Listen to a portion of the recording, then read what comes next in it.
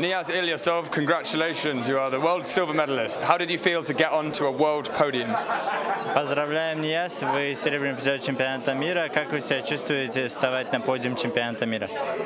Спасибо большое. Честно говоря, очень сильно устал. За выход в финал тяжелая схватка была. И немножко не хватило на финале. Силы уже не было. Так, в целом, доволен. Спасибо. Thank you very much. I'm very tired. Uh, to be honest, the semi-final was very tough fight, uh, and that's why I didn't have enough power for the final. But I'm very happy.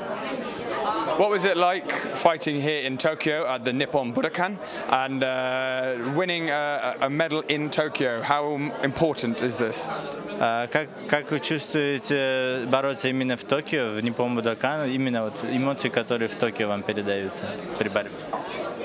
Честно говоря, тяжело было немного именно в Токио, потому что очень много стран, конкуренция очень большая. И вообще для меня очень тяжелый год. В начале года у меня были травмы, я 6 месяцев вообще нигде не выступал. Потом вот за полтора месяца до чемпионата мира выступил плохо и кое-как подготовился. И для меня это серебряная медаль как золотая на самом деле. To be honest, it was very difficult to fight in Tokyo because there are so many strong athletes and many countries taking part.